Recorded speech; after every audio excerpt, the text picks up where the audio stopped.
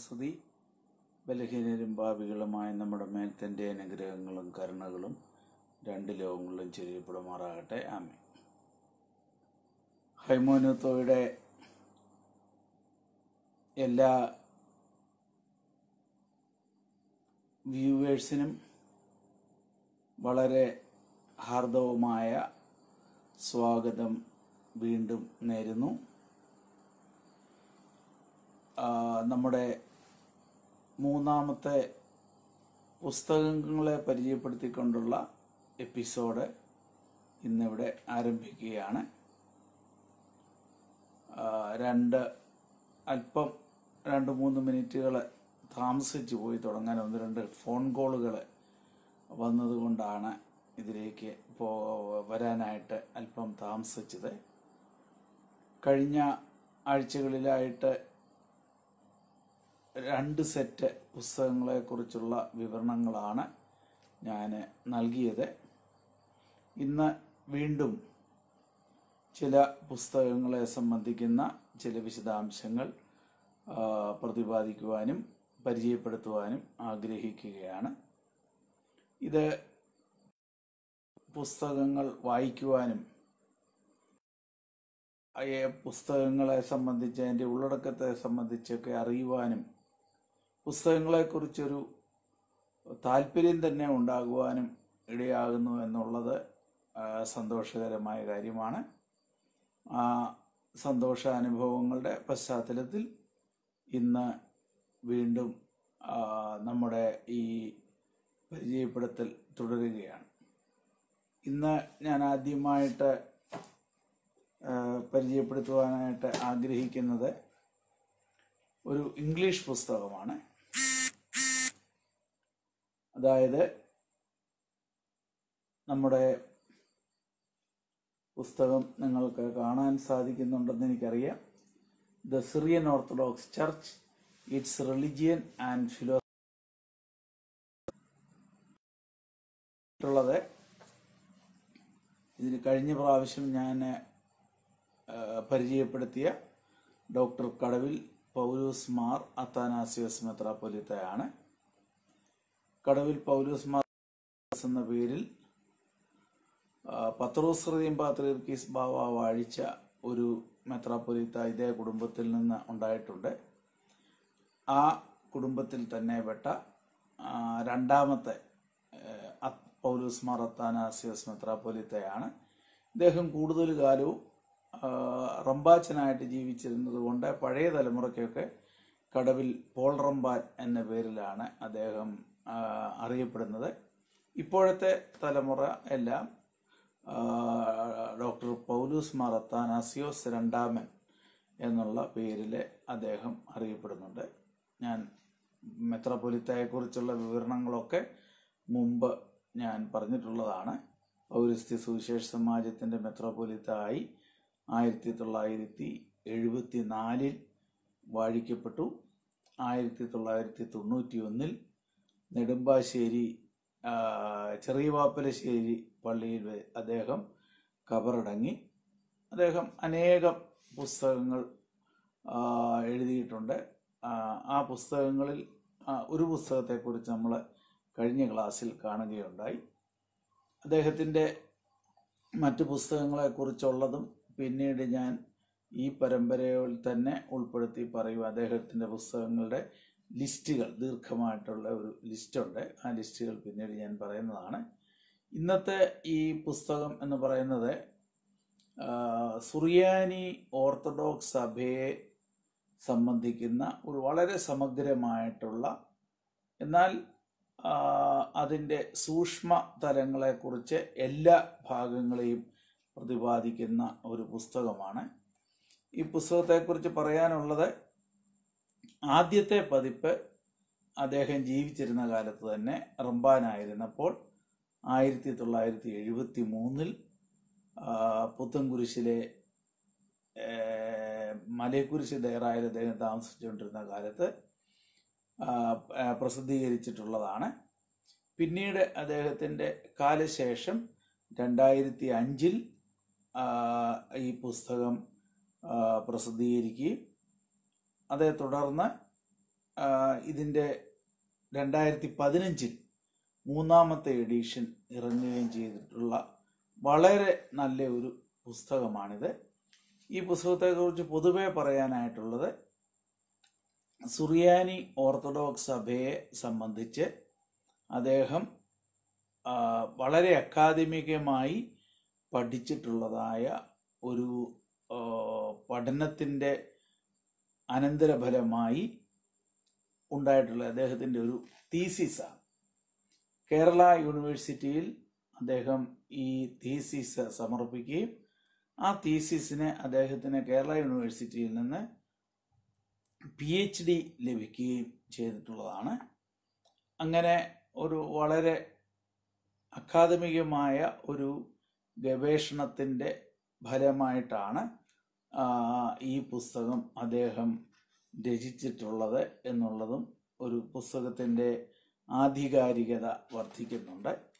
ഈ പുസ്തകത്തിന്റെ ഒരു തീസീസ് എന്നുള്ള നിലയിൽ വളരെ സമഗ്രമായിട്ടുള്ള ഈ പുസ്തകങ്ങളുടെ ബിബ്ലിയോഗ്രഫിയും ഫുഡ് നോട്ടുകളും ഒക്കെ നമുക്ക് ശ്രദ്ധിക്കുമ്പോൾ അറിയാം അദ്ദേഹം എത്ര മാത്രം ഡെഡിക്കേറ്റഡ് ആയിട്ട് കുറേ വർഷങ്ങൾ ചെലവഴിച്ചതിന്റെ ഫലമായിട്ടാണ് ഈ പുസ്തകം അദ്ദേഹം രചിച്ചിട്ടുള്ളത് എന്നുള്ളത് നമുക്കറിയാൻ പറ്റും. ഈ പുസ്തകരചനയുടെ ഭാഗമായിട്ട് അദ്ദേഹം സുറിയാനി പുസ്തകങ്ങൾ പരിശോധിക്കാനും ഒക്കെ ആയിട്ട് വിദേശയാത്രകൾ നടത്തിയിട്ടുണ്ട്. ആ വിദേശയാത്രയുടെ ഒരു യാത്രാവിവരണം ശീമയാത്ര എന്ന പേരിൽ അദ്ദേഹം ആയിരത്തി തൊള്ളായിരത്തി അറുപത്തി അഞ്ചിലെ ശീമയാത്ര എന്നുള്ള പേരിൽ അദ്ദേഹം പ്രസിദ്ധീകരിച്ചിട്ടുണ്ട്. ഇനി നമുക്ക് പുസ്തകത്തിന്റെ ഉള്ളടക്കത്തിലേക്ക് കടക്കാം. ഈ പുസ്തകത്തിന്റെ ഉള്ളടക്കം ഉള്ളടക്കമെന്ന് പറയുന്നത് സഭയുടെ വിശ്വാസപരമായിട്ടുള്ള കാര്യങ്ങൾ ചരിത്രപരമായിട്ടുള്ള കാര്യങ്ങൾ ഈ പുസ്തകത്തിന്റെ രചനാ കാലഘട്ടത്തിലുള്ളതായ പൊതുവായിട്ടുള്ള ഒരു ഓ, അവലോകനം എന്നുടങ്ങുന്ന ഭാഗമാണ് അദ്ദേഹം ആദ്യമായിട്ട് പറയുന്നത്. അതേക്കുറിച്ച് പിന്നീട് അദ്ദേഹം പറയുന്നത് ആ, കാലഘട്ടത്തിൽ മതത്തിന് സമൂഹത്തിലുള്ള സ്ഥാനം എന്താണ് നമ്മുടെ ദൈനംദിന ജീവിതത്തിലുള്ള സ്ഥാനം എന്താണ് അങ്ങനെയുള്ള ഒരു ഫിലോസഫിക്കൽ പശ്ചാത്തലം നൽകിയതിന് ശേഷം ദൈവത്തെക്കുറിച്ചുള്ള ഒരു പഠനം അദ്ദേഹം നടത്തിയിട്ടുണ്ട്. നമ്മുടെ ലഭ്യമായിട്ടുള്ള ശാസ്ത്രീയ ബൗദ്ധിക വെളിച്ചത്തിൽ ദൈവ സങ്കല്പത്തെക്കുറിച്ച് വിശ്വാസിയായിട്ടുള്ള ഒരാൾക്ക് മനസ്സിലാക്കുവാനും സാധിക്കത്തക്കവണ്ണമാണ്. ഈ പുസ്തകത്തിന്റെ ഒരു പൊതു നേച്ചർ സ്വഭാവം എന്ന് പറയുന്നത് പുറത്തൊരാൾ സഭയെക്കുറിച്ച് പഠിക്കാനായിട്ട് ആഗ്രഹിച്ചാൽ അവർക്കും ഇത് വ്യക്തമായിട്ട് ഗ്രഹിക്കത്തക്കവണ്ണമുള്ള ഒരു അപ്രോച്ചാണ് അദ്ദേഹം ഇതിൽ സ്വീകരിച്ചിട്ടുള്ളത്. ഇനിയും അതുകൂടാതെ തൃത്വത്തെക്കുറിച്ചുള്ള ഒരു പഠനം അവിടെ പറയുന്നുണ്ട്. മനുഷ്യാവതാരത്തെക്കുറിച്ചുണ്ട്. ദൈ മനുഷ്യ സൃഷ്ടിയെക്കുറിച്ചുണ്ട്. മനുഷ്യന്റെ ആത്മാവിനെ കുറിച്ചുണ്ട് വിശ കൂടാതെ വിധി നമ്മുടെ ഭാവി മുൻകൂട്ടിയുള്ള പ്രവചനം ഇങ്ങനെയൊക്കെ ഉള്ളതായ കാര്യങ്ങളെക്കുറിച്ചുള്ള ലോക പരിഗണനയുണ്ട്. അതായത് ഇപ്പോൾ എന്ത് സംഭവിച്ചാലും അത് വിധിയാണ് എന്ന് ചിന്തിക്കുന്ന ചില ആളുകളുണ്ട്. അത് ചില ആളുകളെ സൃഷ്ടിച്ചിരിക്കുന്നത് ഇന്ന കാര്യത്തിന് വേണ്ടിയിട്ടാണ് എന്നുള്ള ഒരു പ്രീ ഡെസ്റ്റിനേഷൻ ആളുകളെക്കുറിച്ച് ചില ആളുകളുടെ മനസ്സിലുണ്ട്. ആ എന്നെ ദൈവം അയച്ചിരിക്കുന്ന ഇന്ന കാര്യത്തിന് വേണ്ടിയിട്ടാണ്. അതുകൊണ്ട് അങ്ങനെയൊക്കെ സംഭവിച്ചാലേ ഇടയാവുകയുള്ളൂ അതുകൊണ്ട് ഈ പല കാര്യങ്ങളെക്കുറിച്ചും നമ്മൾ തന്നെ അതിന്റെ ഉത്തരവാദി അല്ലെ എല്ലാം നമ്മുടെ മലയാള ഭാഷയിൽ അതിന് പറയും തലേവരെയാണ് എല്ലാം. ഒരാളുണ്ടാകുമ്പോൾ തന്നെ അദ്ദേഹത്തെക്കുറിച്ചൊരു ദൈവിക കാഴ്ചപ്പാടുണ്ട്. ഒരു അദ്ദേഹത്തിന്റെ ഇന്ന ഇന്ന വിധത്തിൽ ജീവിച്ചിരിക്കണം. ഇന്ന രീതിയിലാണ് അദ്ദേഹത്തിന്റെ ജീവിതം സംഭവിക്കാൻ പോണത് എന്നൊക്കെയുള്ള ഒരു പ്രീ ഡെസ്റ്റിനേഷൻ മുൻകൂട്ടി ദൈവം തന്നെ നമ്മുടെ ഭാവിയെക്കുറിച്ച് നിർണയം നടത്തിയിരിക്കുന്ന ഭാവി നിർണയം. അത് ആണ് എന്നുള്ളതായ ചിന്താഗതി. ഇതിനെക്കുറിച്ചൊക്കെയുള്ള ക്രിസ്ത്യൻ കാഴ്ചപ്പാട് എന്താണ്? ആരാധന എന്താണ്? വിശുദ്ധ കന്യകമറിയാമിനെ കുറിച്ചുള്ള സഭയുടെ കാഴ്ചപ്പാട് എന്താണ്? വിശുദ്ധന്മാരോടുള്ള മധ്യസ്ഥ പ്രാർത്ഥന എന്താണ്? മരിച്ചവരെ കുറിച്ചുള്ള അല്ലെങ്കിൽ വാങ്ങിപ്പോയവരെ കുറിച്ചുള്ള സഭയുടെ വിശ്വാസം എന്താണ്? ഇങ്ങനെയോടെ തുടങ്ങിയ കാര്യങ്ങൾ ഇവിടെ പറയുന്നുണ്ട്. ഇനി അതുകൂടാതെ നമ്മുടെ ആരാധന സംവിധാനങ്ങളെക്കുറിച്ച് വളരെ അടിസ്ഥാനപരമായിട്ടുള്ള ഒരു പഠനം ഇതിന്റെ മൂന്നാം ഭാഗത്ത് നമുക്ക് കാണുവാനായിട്ട് സാധിക്കും. വിശുദ്ധ കുർബാനയെ സംബന്ധിച്ച് അതുപോലെ ആണ്ടോടാണ്ടുള്ള പെരുന്നാളുകളെ കുറിച്ച് ഉള്ള പ്രതിപാദ്യങ്ങളെല്ലാം ഇതിലുണ്ട്. ബ്രഹ്മചര്യം ത്തെക്കുറിച്ചുള്ള പഠനമുണ്ട്. ഇനി അതുകൂടാതെ നമ്മുടെ ഉപവാസം ധ്യാനം അങ്ങനെയുള്ള കാര്യങ്ങൾ സ്വർഗവും നരകവും യുഗാന്ത്യം നന്മയും തിന്മയും അതെങ്ങനെയാണ്? ഇങ്ങനെയുള്ള കാര്യങ്ങളെല്ലാം പറയുന്നുണ്ട്. അതുകൂടാതെ ഇനി അടുത്ത ഒരു ഭാഗം വരുമ്പോഴത്തേക്കും സഭയുടെ കൂതാശകളെക്കുറിച്ച് ദ ഹോളി സാക്രമെന്റ്സ് അത് വളരെ വിശദമായിട്ട് ഈ പുസ്തകത്തിൽ പ്രതിപാദിക്കുന്നുണ്ട്. ഇനിയും സ്ത്രീകൾക്ക് സഭയിലുള്ള സ്ഥാനം എന്താണ് എന്നുള്ളതിനെ സംബന്ധിച്ചുള്ള പ്രതിപാദ്യം ഈ പുസ്തകത്തിലുണ്ട്. ഇങ്ങനെ സഭയുടെ അന്നത്തെ ഇദ്ദേഹം ഈ പുസ്തകം എഴുതുന്ന കാലഘട്ടങ്ങളിലെ അൻപതുകൾ അറുപതുകളുടെ ആ ഭാഗങ്ങളിൽ ഉള്ളതായ സഭയുടെ അവസ്ഥ എന്തായിരുന്നു എന്നുള്ളതിനെ സംബന്ധിച്ചുമൊക്കെ വളരെ വിശദമായിട്ടുള്ള ഒരു പഠനമാണ് ഈ പുസ്തകത്തിൽ കാണുന്നത്. പുസ്തകത്തിലെ ഇംഗ്ലീഷിലും മലയാളത്തിലും സുറിയാനിയിലുമുള്ള പല പുസ്തകങ്ങളും അതിന്റെ ഒറിജിനൽസ് പ്രത്യേകിച്ച് സുറിയാനിയുടെ ഒറിജിനലൊക്കെ അദ്ദേഹം തന്നെ നേരിട്ട് പരിശോധിച്ച് ചേർത്തിട്ടുള്ളതായ ആ ഒരു മനോഹരമായ ഒരു ബിബ്ലിയോഗ്രഫി ഗ്രന്ഥസൂചിക ഈ പുസ്തകത്തിന്റെ അവസാനം കൊടുത്തിട്ടുണ്ട്. ഇതിന്റെ എഡിറ്റർ എന്നുള്ള നിലയിൽ അതിനുശേഷം ഈ ബിബ്ലിയോഗ്രഫിയൊക്കെ ഇറങ്ങി ഇറങ്ങിയപ്പോൾ മാനസ്ക്രിപ്റ്റ് ആയിട്ടിരുന്ന പല പുസ്തകങ്ങളൊക്കെ പിന്നീട് പ്രിന്റ് ചെയ്ത് വന്നതും എഡിറ്റർ എന്നുള്ള നിലയിൽ എന്റെ ശ്രദ്ധയിൽ വന്നിട്ടുള്ളതായ പുസ്തകങ്ങളും കൂടെ കൂടെ കൂട്ടിച്ചേർത്തുകൊണ്ട് ബിബ്ലിയോഗ്രഫി വിപുലീകരിച്ചിട്ടുണ്ട്. ഈ പുസ്തകത്തിന്റെ വില ഇരുന്നൂറ് രൂപയാണ്. അപ്പോൾ ആ ഇരുന്നൂറ് രൂപയ്ക്ക് ഈ പുസ്തകം വായനക്കാർക്ക് ലഭ്യമാകുന്നതാണ്.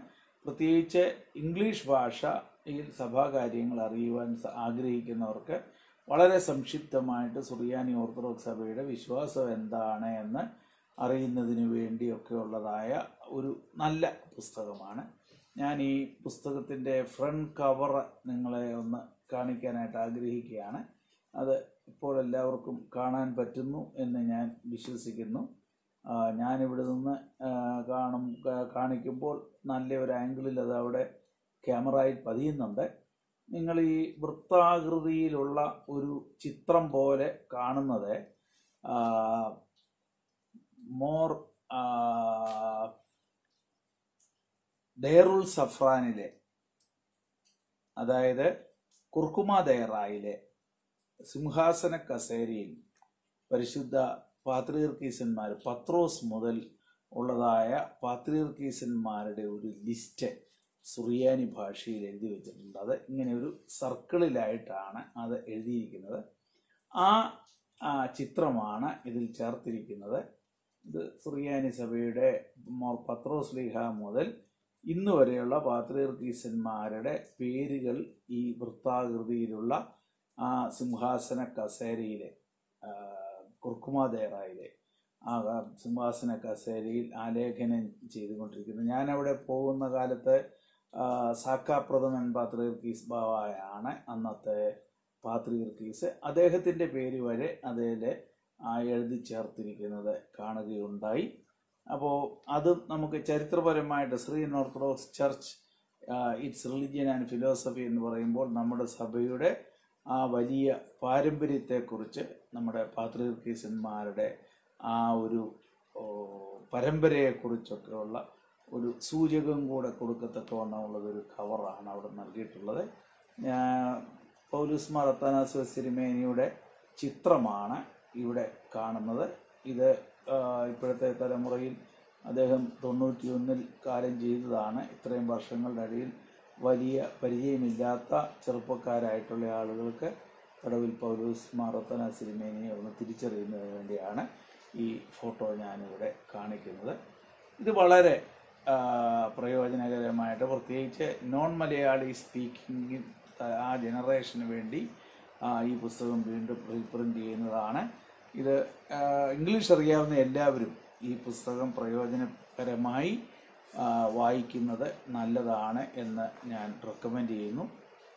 ആ പുസ്തകം മുമ്പ് ഞാൻ സൂചിപ്പിച്ചതുപോലെ സഭയുടെ എല്ലാ ബുക്ക് ഷോപ്പുകളിലുമുണ്ട് മഞ്ഞിനക്കരയിലും കോട്ടയത്തും പുത്തകുരിശിലും. നമ്മുടെ വൈദിക സെമിനാരിയുടെ ബുക്ക് ഷോപ്പുകളിലും എല്ലാം ഈ പുസ്തകം ലഭ്യം ലഭ്യമാണ്. മോറാദായി സ്റ്റഡി സെന്ററിലും ഈ പുസ്തകം ലഭ്യമാണ്. ആവശ്യമുള്ളവർ നിങ്ങളുടെ യാത്രയോടനുബന്ധമായിട്ട് ഈ പുസ്തകങ്ങൾ സമാഹരിച്ച് വായിക്കുന്നതും വാങ്ങുന്നതും നന്നായിരിക്കും എന്ന് ഓർമ്മിപ്പിച്ചുകൊണ്ട് ഞാൻ മറ്റൊരു പുസ്തകത്തെക്കുറിച്ചുള്ളതായ വിവരണത്തിലേക്ക് പോകാനായിട്ട് ആഗ്രഹിക്കുന്നു. അടുത്തതായിട്ട് ഞാൻ പ്രതിപാദിക്കുന്നത് ഒരു മലയാളം പുസ്തകമാണ്.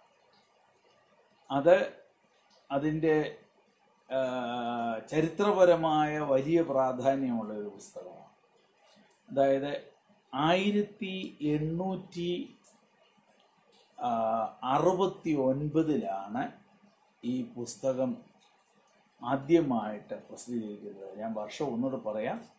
ആയിരത്തി എണ്ണൂറ്റി അറുപത്തി ഒൻപത് അതായത് മുളന്തുരുത്തി സുന്നഹുദോസിനും മുമ്പ് ഇവിടെ ബ്രിട്ടീഷ് മിഷണറിമാരൊക്കെ വന്ന് അവരുടെ പ്രവർത്തനങ്ങളൊക്കെ ഇവിടെ നടക്കുകയും ചില സുറിയാനിക്കാരെ ബ്രിട്ടീഷ് മിഷണറിമാരോടെ പ്രത്യേക ഉപദേശങ്ങളിൽ ആകൃഷ്ടരാകുകയും ഒക്കെ ചെയ്യുന്ന ആ കാലത്ത് എഴുതിയിട്ടുള്ളൊരു പുസ്തകമാണ്. ഈ പുസ്തകത്തിന്റെ പേര് മലയാളത്തുള്ള സുറിയാനി ക്രിസ്ത്യാനികളുടെ സഭാചരിത്രം.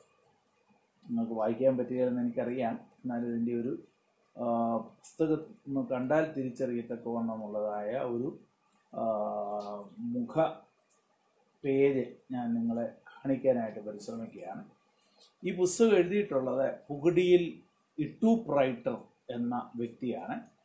ഇദ്ദേഹം കൊച്ചിയിലെ ഒരു ജോലി ചെയ്തുകൊണ്ടിരുന്ന ഒരു ആളാണ്. ഇട്ടൂപ്പ് റൈറ്റർ എന്ന് പറയുമ്പോൾ തന്നെ നമുക്കറിയാം അത് ഒരു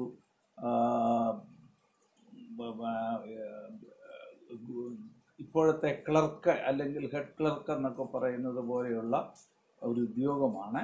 അന്നത്തെ നിലയിൽ നല്ല വിദ്യാഭ്യാസമുള്ളവരായിട്ടുള്ള ആളുകൾക്കാണ് ഈ ഇങ്ങനെയുള്ളതായ ജോലികൾ കിട്ടുന്നത്. ഇത് കൂടുതലും സായിപ്പന്മാരോടുള്ളതായ ബന്ധത്തിലുള്ള ജോലികളൊക്കെയാണ് ഇദ്ദേഹത്തിന് ചെയ്തുകൊണ്ടിരുന്നതെന്ന് നമുക്ക് മനസ്സിലാക്കുവാനായിട്ട് സാധിക്കും.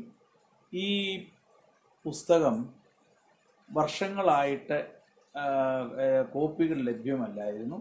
ആദ്യത്തെ കോപ്പി ഞാൻ പറഞ്ഞതുപോലെ ആയിരത്തി എണ്ണൂറ്റി അറുപത്തൊമ്പതിൽ അത് കഴിഞ്ഞ് ആയിരത്തി തൊള്ളായിരത്തി നാലിൽ അദ്ദേഹത്തിന്റെ കുടുംബക്കാരെ ഇത് റീപ്രിന്റ് ചെയ്തിരുന്നു.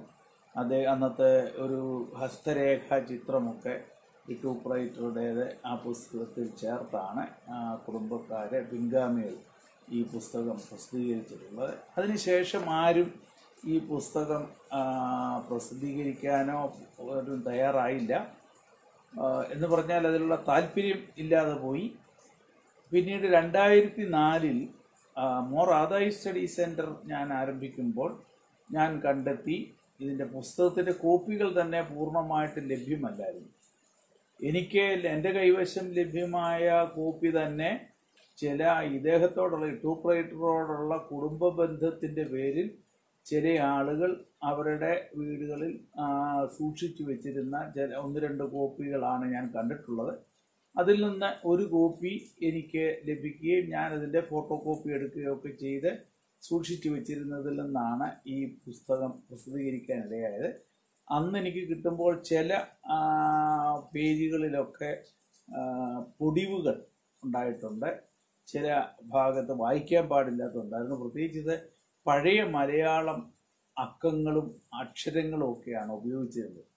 അത് ടൈപ്പ് ചെയ്യുന്നിടത്ത് അവർക്ക് ഇപ്പോഴത്തെ ഡി ടി പി ചെയ്യുന്ന ആളുകൾക്ക് അത് വായിക്കുക തന്നെ പ്രയാസമായിരുന്നു. അത് ഇപ്പോഴത്തെ മലയാള ലിപിയിലേക്ക് മാറ്റുക അക്കങ്ങൾ മാറ്റി കൊടുക്കുക ഇതൊക്കെ ഒരു ഭാരിച്ച ജോലിയായിരുന്നു. ഏതായാലും ദൈവകൃപയാൽ അത് എനിക്ക് രണ്ടായിരത്തി നാലിൽ പ്രസിദ്ധീകരിക്കത്തക്കവണ്ണം അതിന്റെ കാര്യങ്ങളെല്ലാം പൂർത്തീകരിക്കാനായിട്ട് സാധിച്ചു.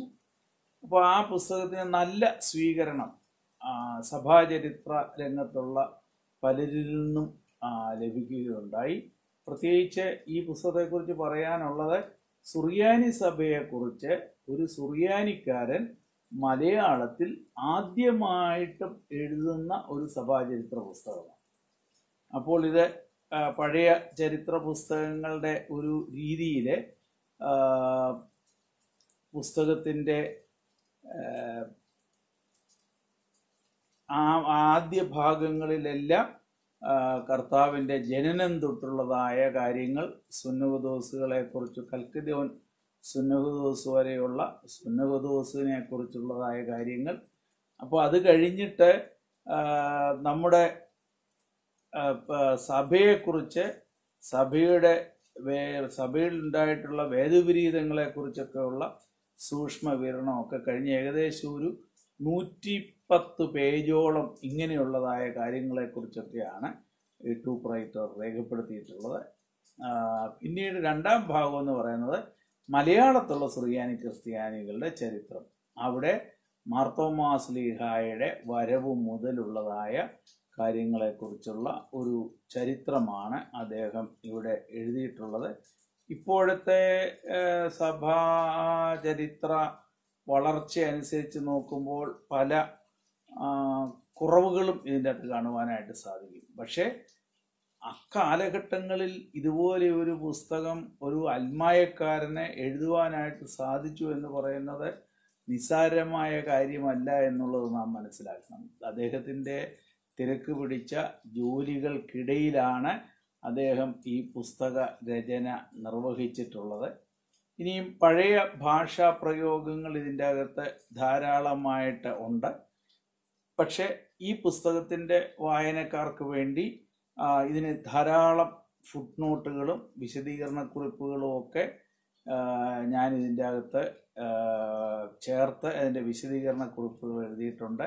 അതുകൊണ്ട് ഇപ്പോഴത്തെ വായനക്കാർക്ക് അത്രയും ക്ലേശം ഇതിന്റെ അകത്ത് അനുഭവിക്കേണ്ടി വരികയില്ല. ഞാൻ സൂചിപ്പിച്ചതുപോലെ ഇതിന്റെ ഡി ടി പി പുതിയ ഡി ടി പിയിലേക്ക് മാറ്റിയത് കൊണ്ട് വായന സുഗമമാണ്. പഴയ ഭാഷ അതിന്റെ തനിമ നിലനിർത്താൻ വേണ്ടി അതുപോലെ തന്നെയാണ് ഈ പ്രസിദ്ധീകരണത്തിൽ നിർത്തിയിരിക്കുന്നത്. എന്റെ വാക്കുകളുടെ വ്യക്തമാക്കലുകളും എഡിറ്റർ എന്നുള്ള നിലയിൽ എന്റെ വിശദീകരണ കുറിപ്പുകളും ഒക്കെ പ്രത്യേകം ഫുഡ് നോട്ടിട്ട് അതാത് പേജുകളിൽ താഴെ നൽകിയിട്ടുള്ളത് കൊണ്ട് അതിന്റെ ഒറിജിനൽ നഷ്ടപ്പെട്ടു പോകാതെ കാണുവാൻ സാധിക്കും. ഈ പുസ്തകത്തിന്റെ മറ്റൊരു പ്രത്യേകത എനിക്ക് കാണുവാനായിട്ട് സാധിച്ചിട്ടുള്ളത്. ഇപ്പോൾ വേറൊരു വിധത്തിൽ ലഭ്യമല്ലാത്ത പല പഴയ പല കത്തുകളും അതിന്റെ ഒറിജിനൽ രൂപത്തിൽ ഈ പുസ്തകത്തിൽ പല സ്ഥലങ്ങളിലും ചേർത്തിട്ടുണ്ട്. അത് നമുക്ക് സഭാചരിത്രം പഠിക്കാനായിട്ട് താല്പര്യപ്പെടുന്ന ആളുകൾക്ക് വളരെയധികം പ്രയോജനപ്പെടും എന്നുള്ളതിന് യാതൊരു സംശയവുമില്ല. അപ്പോൾ ഈ സഭാചരിത്ര വിദ്യാർത്ഥികൾക്ക് സഭാചരിത്രം പഠിക്കുവാനായിട്ട് ആഗ്രഹിക്കുന്നവർക്ക് ഒക്കെ വളരെ പ്രയോജനപ്പെടുന്നതായ ഒരു പുസ്തകമാണിത് എന്ന് ഞാൻ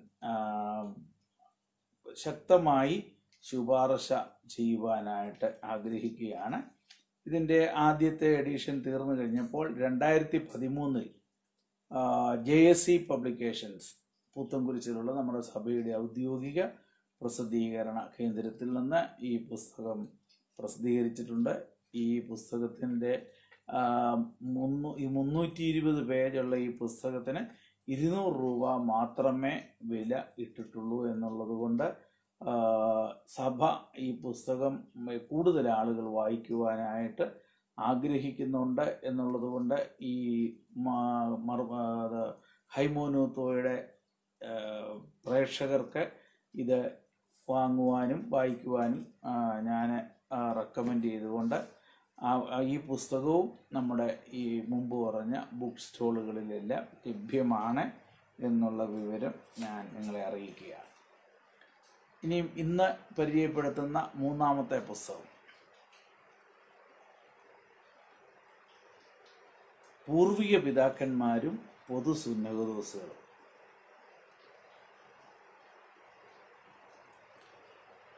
ഇത് എഴുതിയിട്ടുള്ളത് പി പി യൗസേഫ് ഷെമാശൻ പുതുശ്ശേരിയിൽ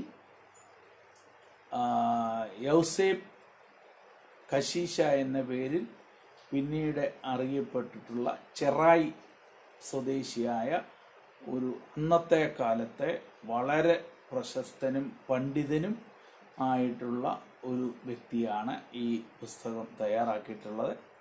അതിനു മുമ്പ് എനിക്കതേക്കുറിച്ച് മറ്റൊരു കാര്യം പറയാനായിട്ടുള്ളത്. ഇദ്ദേഹത്തിന്റെ പുത്രനാണ്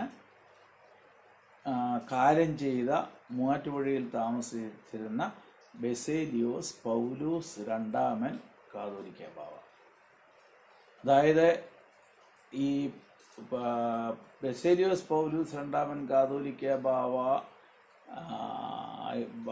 ഇദ്ദേഹത്തിന്റെ പുത്രനായി സഭാ ശുശ്രൂഷയിലേക്ക് കടന്നു വന്നതാണ്.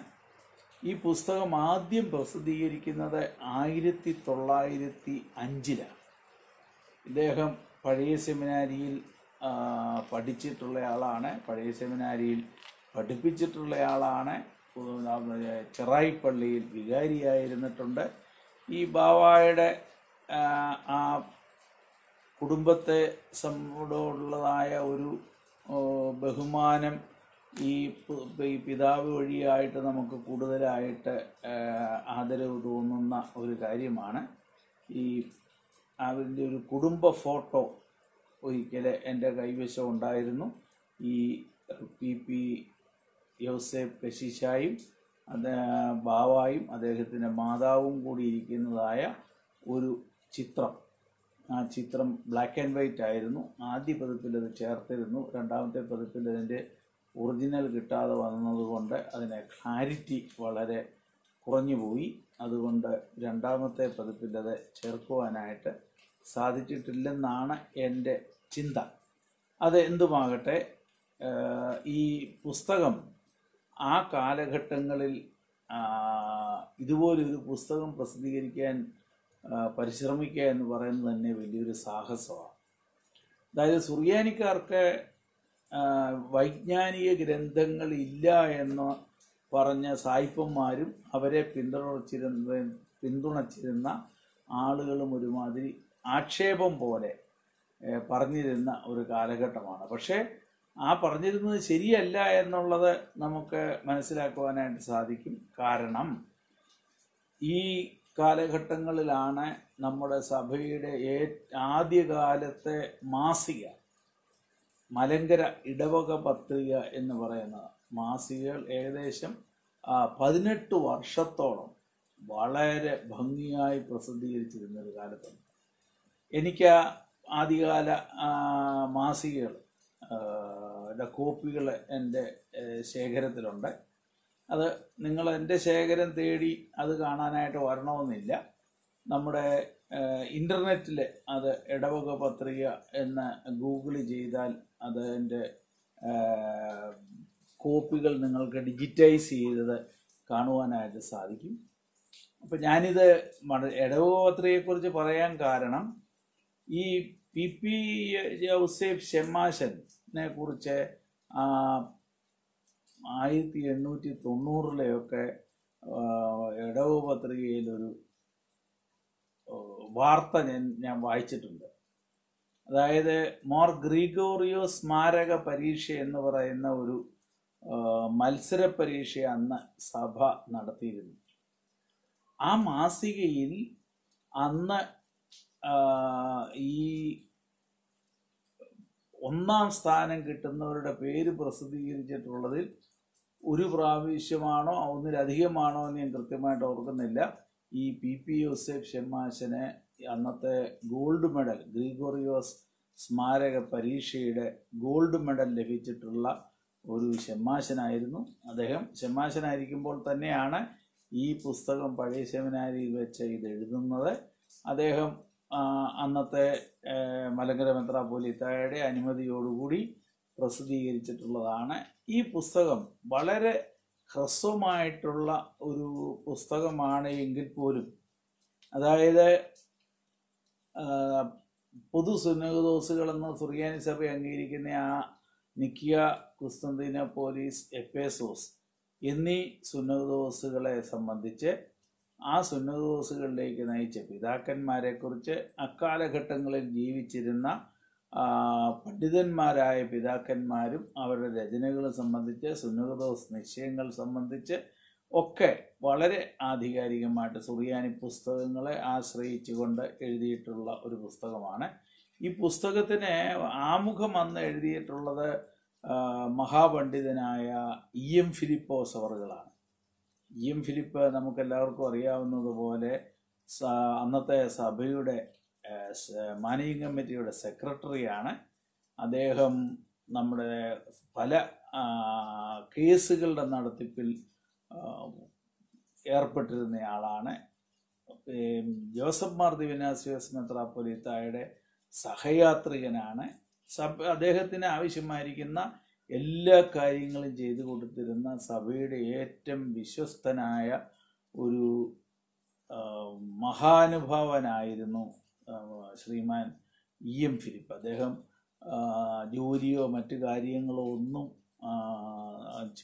ചെയ്യാതെ സഭയ്ക്ക് വേണ്ടിയുള്ള പ്രവർത്തനങ്ങൾ വിദ്യാഭ്യാസം കഴിഞ്ഞപ്പോൾ മുതൽ സഭയ്ക്ക് വേണ്ടി സ്വന്തം ജീവിതം ഒഴിഞ്ഞു വെച്ച ഒരു വലിയ സഭാസ്നേഹിയാണ്. ആ ഇ എം ഫിലിപ്പിനെ കുറിച്ച് ഞാൻ അദ്ദേഹം എഴുതിയ പുസ്തകത്തെ പരിചയപ്പെടുത്തിയപ്പോൾ പറഞ്ഞിരുന്നു. ആ കാലഘട്ടങ്ങളിൽ അദ്ദേഹത്തിന്റെ പ്രോത്സാഹനവും കൂടെ കൊണ്ടാണ് അന്ന് മറ്റ് പുസ്തകങ്ങളൊക്കെ ആളുകൾ ഇതുപോലെയുള്ള പി പി പുതുശ്ശേരിൽ ജോസഫ് ഷെമ്മാശിനെ പോലെയുള്ളവരൊക്കെ പുസ്തകങ്ങൾ എഴുതുവാനും ഒക്കെ ആ പുസ്തകങ്ങളുടെ രചനയിൽ സഭയ്ക്ക് സഭയ്ക്കെന്ന് വലിയ നേട്ടമുണ്ടായിരുന്നു. ഇതിന്റെ ഒപ്പം തന്നെ മറ്റൊരു പുസ്തകമുണ്ട് അതേക്കുറിച്ച് ഞാൻ പിന്നീട് പ്രതിപാദിക്കുന്നുണ്ട്. അന്ന് വട്ടശ്ശേരിയിൽ ഗിവർഗീസ് മാർ ദിവന്നാസിയോസ് പൊലീത്ത എഴുതിയ മതോപദേശ സാരങ്ങൾ എന്ന് പറയുന്ന പുസ്തകം ആ കാലഘട്ടങ്ങളിൽ ഇറങ്ങിയിട്ടുള്ളതാണ്. ഇങ്ങനെ ഞാൻ മുമ്പ് സൂചിപ്പിച്ചതുപോലെ ആദ്യ ആദിമകാല സഭാപിതാക്കന്മാരെ സംബന്ധിച്ച് പന്ത്രണ്ട് ശ്രീഹന്മാരെ കുറിച്ചും അറിയിപ്പുകാരെ കുറിച്ചും ആ സുന്നഹദോസിനിടയായ വേദവിപരീതങ്ങളെ സംബന്ധിച്ചും ഒക്കെ ഇന്നും നമുക്ക് പ്രയോജനപ്പെടത്തക്ക രീതിയിലുള്ള ഒരു പുസ്തകമാണ്. ഈ പുസ്തകത്തിന്റെ ഉള്ളടക്കത്തിന്റെ പ്രാധാന്യം മുന്നിൽ കണ്ടുകൊണ്ടാണ് ഈ പുസ്തകം വീണ്ടും പ്രസിദ്ധീകരിക്കുവാനായിട്ട് ഞാൻ തയ്യാറായത്. ഈ പുസ്തകം രണ്ടായിരത്തി അഞ്ചിലാണ് ആദ്യം മോർ സ്റ്റഡി സെന്ററിൽ നിന്ന് പ്രസിദ്ധീകരിക്കുന്നത്.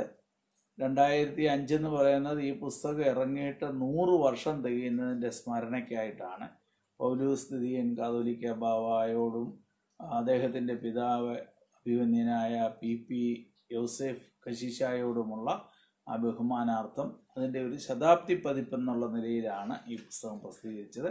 ആ കോപ്പികളെല്ലാം തീർന്നു കഴിഞ്ഞപ്പോൾ രണ്ടായിരത്തി പതിനഞ്ചിൽ വീണ്ടും ഈ പുസ്തകം പുനഃപ്രസിദ്ധീകരണമാണ് ഞാൻ ചെയ്തിട്ടുള്ളത്. ഈ ബാവായുടെ പിതാവിന്റെ ചിത്രം നിങ്ങൾക്ക് കാണത്തക്കവണ്ണം ഞാൻ ഈ ക്യാമറയിലേക്ക് സൂം ചെയ്യുകയാണ്.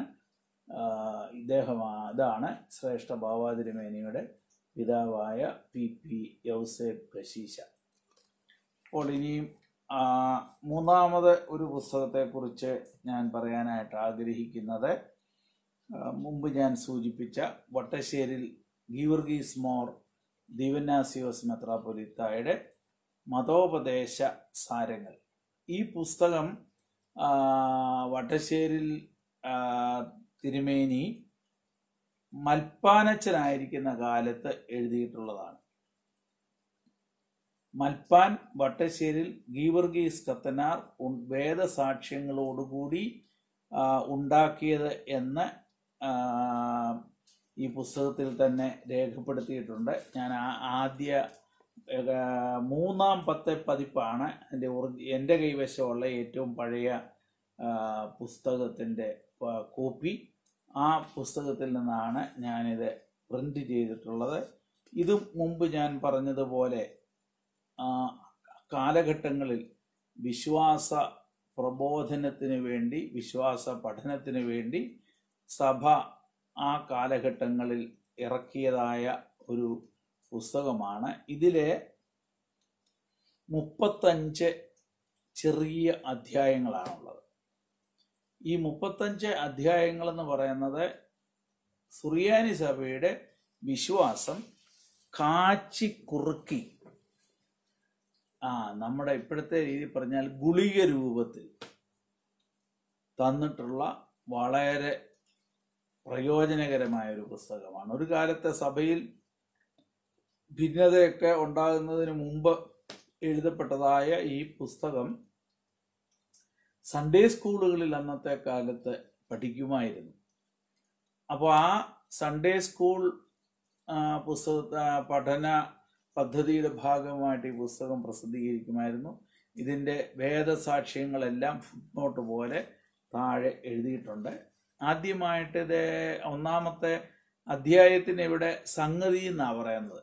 അതായത് വിശുദ്ധ തൃത്വത്തെക്കുറിച്ചുള്ള സംഗതി എന്ന് പറഞ്ഞാൽ അതിന്റെ സംഗതി എന്ന് പറയുമ്പോൾ നിങ്ങൾക്കറിയാമല്ലോ. അതിന്റെ ആ, ആ സംക്ഷിപ്തമായിട്ടുള്ള വിവരണം എന്നുള്ള അർത്ഥത്തിൽ പിന്നീട് പിതാവിനെക്കുറിച്ച് പുത്രനെക്കുറിച്ച് പരിശുദ്ധ റൂഹായെക്കുറിച്ച് കൂതാശകളെക്കുറിച്ച് പിന്നെ മാമോദീസയെക്കുറിച്ച് കുർബാനയെക്കുറിച്ച് വിശുദ്ധ കുമ്പസാരത്തെക്കുറിച്ച് വിശുദ്ധ തൈലങ്ങളെക്കുറിച്ച് പട്ടത്വത്തെക്കുറിച്ച് വിവാഹത്തെക്കുറിച്ച് രോഗികളുടെ തൈലാഭിഷത്തെക്കുറിച്ച് ശവസംസ്കാരത്തെക്കുറിച്ച് പ്രാർത്ഥനയെക്കുറിച്ച് നോമ്പിനെക്കുറിച്ച് മാറാനായ പെരുന്നാളുകളെക്കുറിച്ച് പരിശുദ്ധന്മാരുടെ ഓർമ്മ ദിവസങ്ങളെക്കുറിച്ച് ഇങ്ങനെ സഭയുടെ വിശ്വാസപരമായിട്ടുള്ള കാര്യങ്ങളെക്കുറിച്ചെല്ലാം രേഖപ്പെടുത്തിയിട്ടുള്ളതായ പുസ്തകമാണ് ഈ മതോപദേശ സാരങ്ങൾ എന്ന് പറയുന്ന സാരവത്തായ ഈ പുസ്തകം. ഇനി ഇതിന്റെ സഭാ ഭിന്നതയുടെ പശ്ചാത്തലത്തിൽ ഇത് നമ്മളിത് പ്രസിദ്ധീകരിക്കേണ്ടി വന്നത് എന്തുകൊണ്ടാണ് എന്നുള്ള ഒരു വിശദീകരണം കൂടെ പറയേണ്ടതായിട്ടുണ്ട്. ഇതിന്റെ പട്ടത്വത്തെക്കുറിച്ച് പറയുന്ന പത്താം സംഗതി അല്ലെങ്കിൽ പത്താം അധ്യായത്തിൽ പറയുന്ന ഒരു സെന്റൻസ് ഞാനിവിടെ വായിക്കാം. സഭയുടെ പട്ടത്വത്തിനടുത്ത മേലധികാരം അന്ത്യോക്യ സിംഹാസനത്തിന്മേൽ വാഴുന്ന മോറാൻ മോർ ഇഗ്നാത്യോസ് പാത്രിയർക്കീസ് ബാവ തിരുമനസിലേക്ക് ഇരിക്കുന്നതാകുന്നു. അതായത് മലങ്കര സഭയുടെ അടിസ്ഥാനപരമായ വിശ്വാസത്തിന്റെ അല്ലെ പൗരോഹിത്യം സംബന്ധിക്കുന്നതായ വിശ്വാസത്തിന്റെ പരമ മേലധ്യക്ഷത അന്ത്യോക്യ പാത്രക്കീസിനാണ് എന്ന് ഈ പുസ്തകത്തിൽ പറയുന്നുണ്ട്. ഇദ്ദേഹം ജീവിച്ചിരുന്ന കാലത്ത് തന്നെ പാത്രീർക്കീസ് ബാവായിൽ നിന്ന് മുടക്കു വാങ്ങി. പക്ഷേ അദ്ദേഹം മുപ്പത്തി നാല് വരെ ജീവിച്ചിരുന്നപ്പോഴൊക്കെ ഇറക്കിയ പതിപ്പുകളിലൊന്നും ഈ ഇദ്ദേഹം എഴുതി പുസ്തകത്തിലെ ഈ പ്രസ്താവ്യം തിരുത്താനായിട്ട് അദ്ദേഹം തയ്യാറായില്ല. പക്ഷേ പിതാക്കന്മാരെ തിരുത്തുന്ന മക്കൾ പിന്നീടുണ്ടായി. അവരെന്ത് ചെയ്തെന്ന് ചോദിച്ചാൽ ഈ പുസ്തകത്തിന്റെ പത്താം സംഗതിയുടെ ഞാനിവിടെ വായിച്ച ഭാഗം പട്ടത്വത്തിനടുത്ത മേലധികാരം മാർത്തോമാസ്ലിയയുടെ സിംഹാസനത്തിന്മേൽ വാഴുന്ന മോറാൻമോർ ഇഗ്നാത്തിയോസ് പാത്രീർക്കീസ് ബാവ എന്നുള്ളത് മാറ്റിയിട്ട് അവിടെ പത്രോസിന്റെ സിംഹ അല്ലെ അന്ത്യോക്യ സിംഹാസനം എന്നുള്ളത് മാറ്റിയിട്ട് മാർത്തോമാ സിംഹാസനത്തിന്മേൽ വാഴുന്ന കാതോലിക്കോസിൽ തിരുമ കാതോലിക്ക ബാവ തിരുമനസിലേക്ക് ഇരിക്കുന്നതാകുന്നു എന്ന് വട്ടശ്ശേരി തിരുമേനി കാലം ചെയ്ത് കഴിഞ്ഞ് പതിറ്റാണ്ടുകൾക്ക് ശേഷം എന്റെ ഓർമ്മ ശരിയാണെങ്കിൽ എന്റെ കയ്യിൽ അറുപത്തിനാലിലെ ഒരു പതിപ്പിരിപ്പുണ്ട്. ആ പതിപ്പിലും ഒരു മാറ്റവും വരുത്തിയിരുന്നില്ല. അതിനുശേഷം എഴുപതുകളിലെ ഭിന്നത ആരംഭിച്ച കാലത്ത് പ്രസിദ്ധീകരിച്ച ആ പതിപ്പുകളിലാണ് ഈ തിരുത്തൽ അവർ വരുത്തിയത്. അപ്പോൾ കാലക്രമേണ കുറേ കാലം കഴിയുമ്പോൾ ഈ പുസ്തകത്തിന്റെ പഴയ കോപ്പികൾ ലഭ്യമല്ലാതാകും അതിന്റെ ഒറിജിനൽ എന്താണ് എന്നുള്ളതിനെക്കുറിച്ച് ആളുകൾക്ക് മനസ്സിലാകാതെ വരും. അതുകൊണ്ട് ഞാൻ തീരുമാനിച്ചു ഇതിന്റെ അകത്ത് യാതൊരു വ്യത്യാസവും ഇല്ലാതെ സഭ യോജിച്ചു നിന്ന കാലത്ത് തൊള്ളായിരത്തി പന്ത്രണ്ടിന് മുമ്പ് രചിക്കുകയും അദ്ദേഹം രണ്ടു പക്ഷത്തെയും മലങ്കര മൽപ്പാനായിട്ടിരിക്കുന്ന കാലത്ത് അദ്ദേഹം എഴുതിയതുപോലെ തന്നെ ഒരു പുസ്തകം പ്രസിദ്ധീകരിക്കണം എന്ന് എനിക്ക് അത് എന്റെ ആവശ്യത ബോധ്യം വന്നതുകൊണ്ടാണ് ഇങ്ങനെയൊരു പ്രസിദ്ധീകരണത്തെക്കുറിച്ച് ഞാൻ ചിന്തിച്ചതും ആ അതിന്റെ വെളിച്ചത്തിലാണ് ഈ പുസ്തകം പ്രസിദ്ധീകരിച്ചത്. ഇത് Mor Addai study centre publish ചെയ്യുന്നത്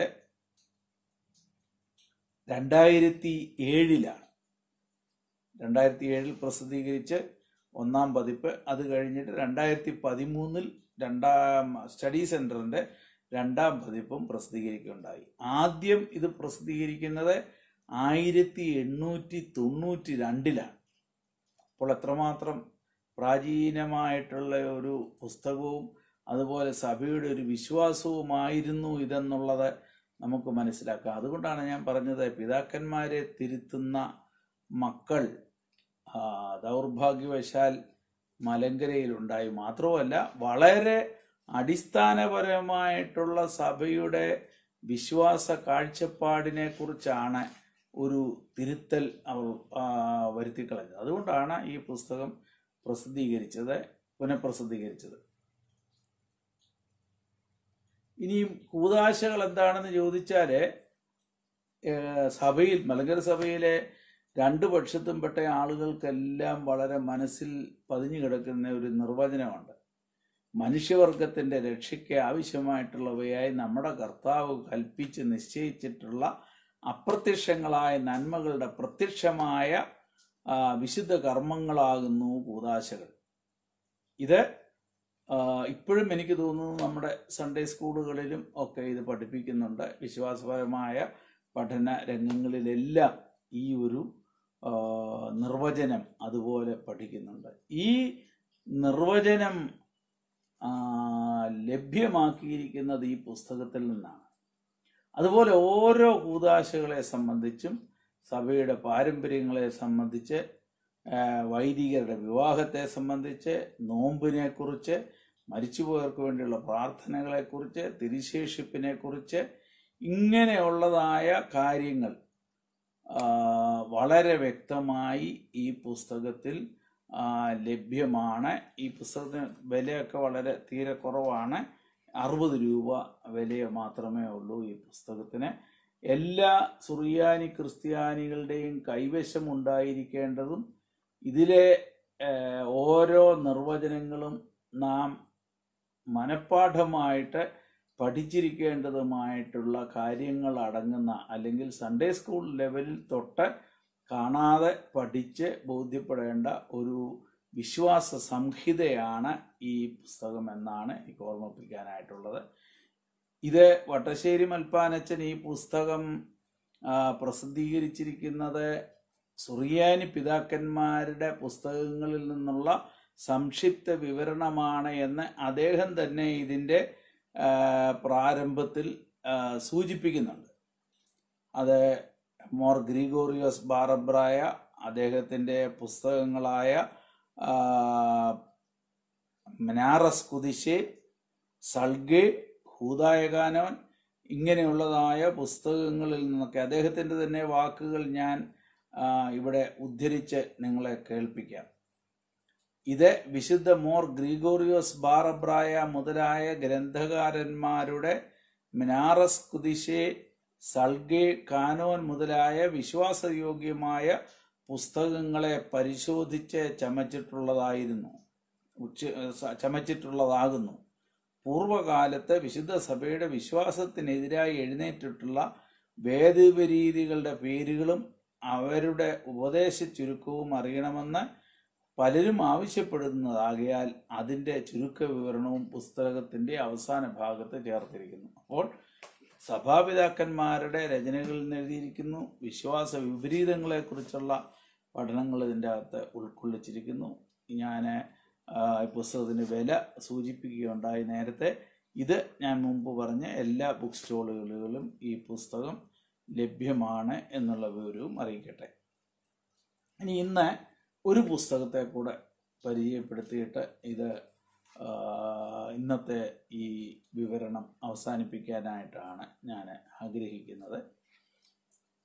ഇത് പുസ്തകത്തിന്റെ പേര് ജീവന്റെ അപ്പം.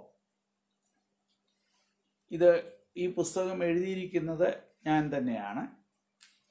ഈ പുസ്തകം ആദ്യമായിട്ട് പ്രസിദ്ധീകരിക്കുന്നത് ആയിരത്തി തൊള്ളായിരത്തി തൊണ്ണൂറിലാണ്. പിന്നീട് തൊണ്ണൂറ്റി നാലിലും രണ്ടായിരത്തി നാലിലും രണ്ടായിരത്തി പതിമൂന്നിലുമായി നാല് എഡീഷൻസ് ഈ പുസ്തകത്തിന് ഇറങ്ങിയിട്ടുണ്ട്. ഇത് വിശുദ്ധ കുർബാനയെക്കുറിച്ചുള്ള ഒരു പഠനമാണ്.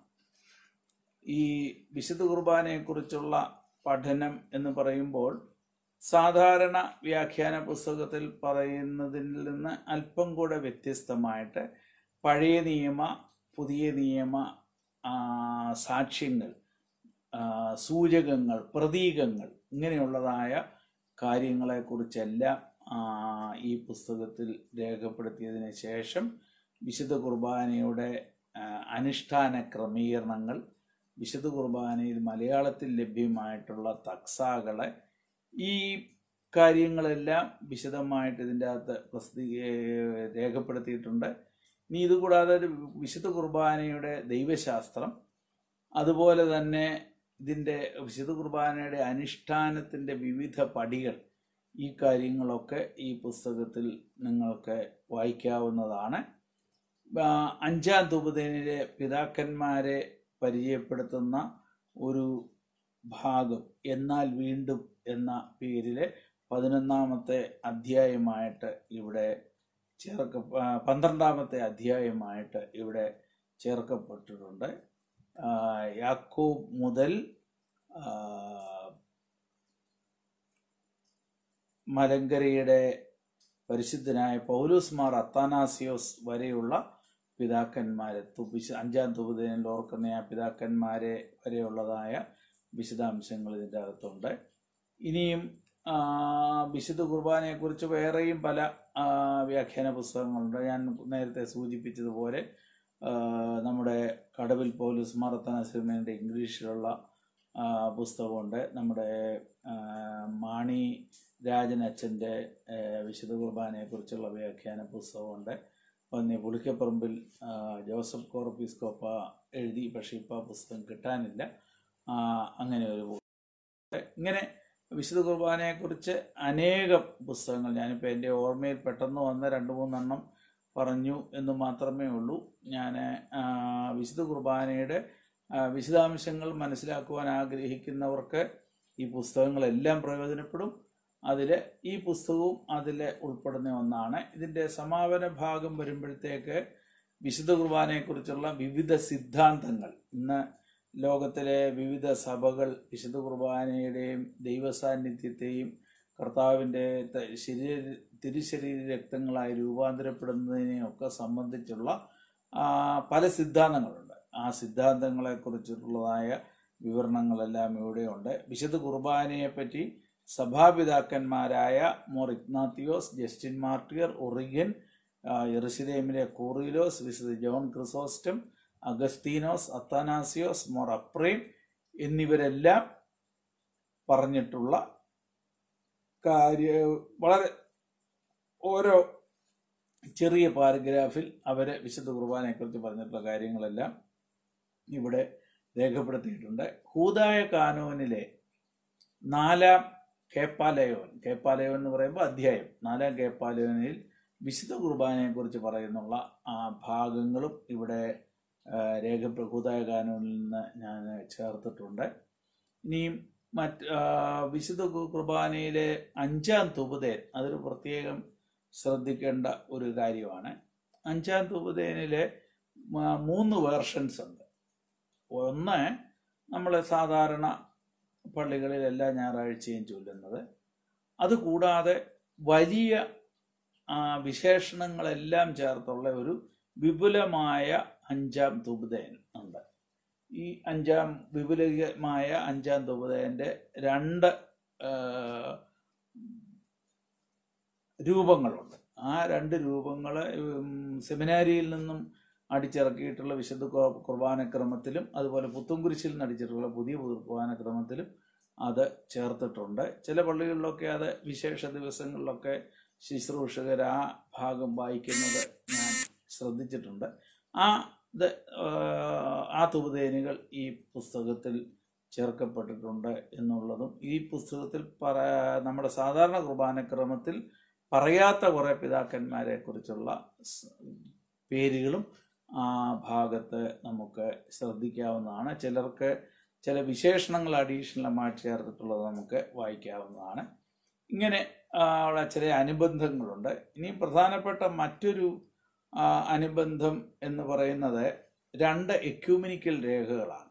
അതും ഈ പുസ്തകത്തിന്റെ അവസാന ഭാഗമായിട്ട് അനുബന്ധമായിട്ട് ചേർന്നിട്ടുണ്ട്. ഒന്ന് ലീമ രേഖകൾ. അത് നമ്മുടെ പ്രേക്ഷകരിൽ പലർക്കും പരിചയമുള്ള ഒരു കാര്യമായിരിക്കത്തില്ല.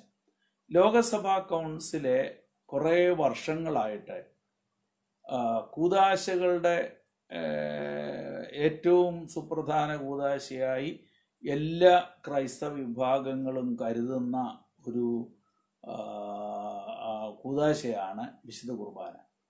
അപ്പോൾ ഈ വിശുദ്ധ കുർബാനയെക്കുറിച്ചുള്ള ഒരു സംയുക്ത രേഖ ഉണ്ടാക്കാനായിട്ട് ഇവരെ പരിശ്രമിച്ചു.